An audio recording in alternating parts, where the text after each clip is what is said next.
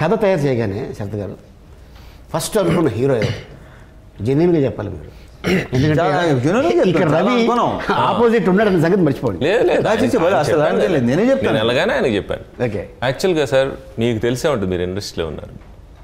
Harsh reality ఏంటంటే మనం కథ రాసుకొని ఫలాన్ హీరోకి చెప్దాం అని ఇనిషియల్గా అనుకున్నా కూడా చాలా కోరికలు ఉంటాయి. ఉంటాయి. బట్ బేసికల్లీ మనకేంటంటే some people will take you to different heroes and different people అట్లా. నేను ఇది జనరల్గానే కథ రాసేసిన తర్వాత దెన్ ఐ వాజ్ కొంచెం మ్యాచ్ చేయగలగాలి. థర్టీ ఇయర్స్ అట్లా ఉండాలి కొంచెం ఫెరోషియస్గా ఉండాలి మంచి పవర్ఫుల్గా ఉండాలి లార్జర్ దాన్ లైఫ్ క్యారెక్టర్ అయి ఉండాలి. అట్లా పెద్ద హీరోలు అందరూ. మన దగ్గర టాప్ బ్రీడ్ హీరోస్ ఉన్నారు కదా. అలాంటి టైంలో నన్ను శివప్రసాద్ రెడ్డి గారు Kamakshi movies. Super star Reddy Sivaprasad Reddy గారు. వాళ్ళ అబ్బాయి నేను క్లోజ్ ఫ్రెండ్స్ అంకుల్ అని పిలుస్తాను నాకు హీజ్ లైక్ ఫాదర్ సో ఆయన ఆయనతో మాట్లాడినప్పుడు ఆయన ఒక పెద్ద పోలీస్ ఆఫీసర్ని పిలిపించాడు.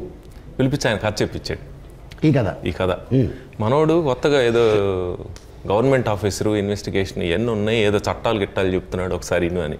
ఆయన మొత్తం విని. అదే డైలాగ్ ఇందులో పెట్టా నేను. పోలీస్ అంటాడనమాట వేణు ఏమోరా ఆ రామారావుకి ఇన్ని పవర్స్ ఉన్నాయో నాకు తెలియదు అది చెప్పిన స్టైల్ ఫోర్స్ చూస్తే మాత్రం ఉన్నట్టే ఉంది అంటాడు బేసికల్ ఆయన కూడా అదే మాట అన్నాడు.